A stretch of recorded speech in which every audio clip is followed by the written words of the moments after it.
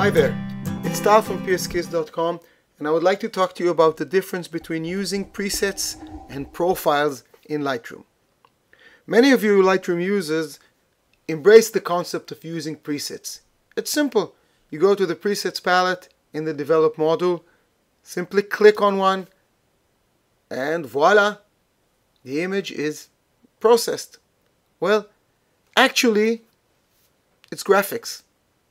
It only changes in brightness, contrast, highlights, shadows. It doesn't touch the basic color table of your image. Every camera raw image is developed by default using a profile called Adobe Standard. If you didn't change it before using a preset, or if the preset doesn't use a different profile, this means you use the same color table for any photograph you develop. Whether it's a portrait, a landscape, a wedding photograph, you get the same color table. It doesn't make any sense to use the same colors for portraits, for landscapes, for product photographs, for wedding photographs. These are not the same photographs. These are not the same images. They cannot use the same color table. If you go to the camera calibration tab in your develop module, you can choose different profiles. The ones that start with camera are the ones you get with Lightroom and Photoshop. So let's switch to camera portrait and see that the colors changed slightly. Well, this photograph was shot with a Canon camera and the Canon portrait doesn't really fit my taste. If we choose a different profile, let's try one of my favorites, Nikon D3 Portrait, you'll see a significant change in skin tone colors. This Nikon D3 Portrait is part of our cross-camera color profile package.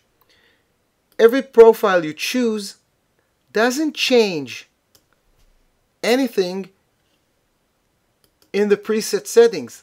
The whole set is the same.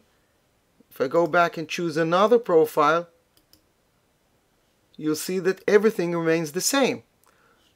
The only thing you change is the basic color table that any processing you do afterwards will be influenced by it. pskiss.com offers three profile packages for Lightroom and Photoshop. You can find it on our website under Products, Camera Profiles, and see the three packages.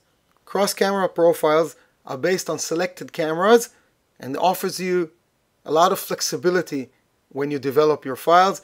If you use different camera models, cross-camera profile will make sure that you use the same color table regardless the camera model you shoot with. The other two, Faces and Places and Skin and Scenery, offer creative developed profiles for portraits, landscapes, and others. Hope you find this explanation useful for you. Thank you for your time. Bye bye.